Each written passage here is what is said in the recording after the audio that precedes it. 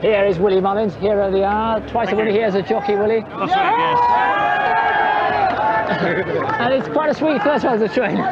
It is. I mean, it's it's uh, great. There was no pressure. We didn't, you know, I was hoping she'd finish in the first six, and if I finished sixth, I would have been delighted with the run.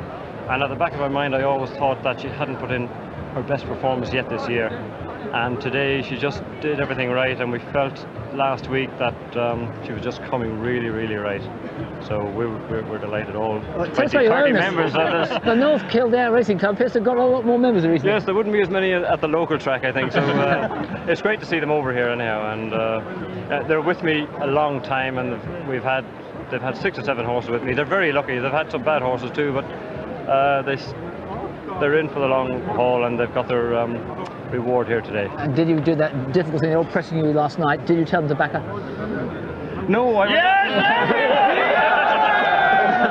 I, I went out to dinner with the Fontana Canyon crowd last night to see how they were going. So.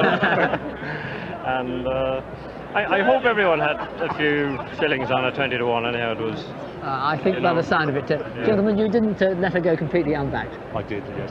You didn't back her? I her. did back it. You backed her. Look, you backed her. He's no right to back her.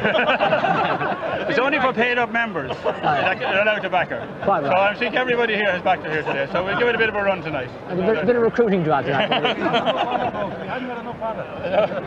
we, we had enough. You always I have think you've all gone by there. this evening. Yeah. Many congratulations. Thank you